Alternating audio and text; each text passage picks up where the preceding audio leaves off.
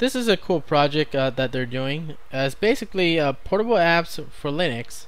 You know how they have portable apps on Windows. Uh, I think they use uh, Thinstall also to make portable apps, but uh, the idea or the concept is still the same. You run the app or the program that you know you want without ever having to install it. It is from a single file or a single folder sometimes. So in Linux here, these are um, the RUNZ file with the Z at the end, and you can see that it has fucking uh, a lightning bolt here, right? Fucking Zeus shit, and um, you can run it. So if I run uh, Firefox here. Now this one is experimental right now but uh, it runs fine for me. Uh, I think this one is missing Flash and Java but everything else is, is working fine.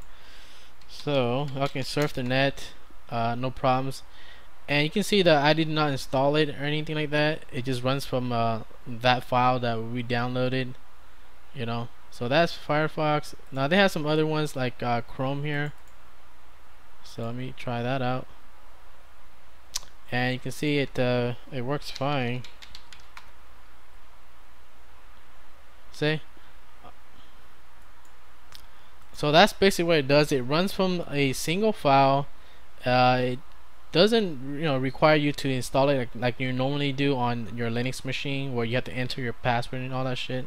However it does require a framework and and the framework is uh, the RUNZ of framework here that you need to install first.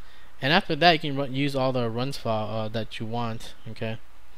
Uh, so to get it um, make sure you have those two things okay? First is uh, get the latest RUNZ framework. Uh, so they have this version right now it has 32 bit and 64 bit so that's good for us okay and uh, this is the portable list that they have right now currently but uh, they do have uh, some of the good ones like uh, Google Earth, Firefox, Skype, and all that.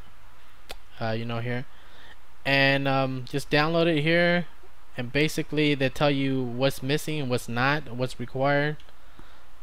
Um, so that's it. That's I, I like this project that they're doing. It's good. Okay, so check it out. You know, maybe in the future it'll be Pimper. It has more programs, uh, but as of right now, uh, that's all they got right now. Uh, so that's it.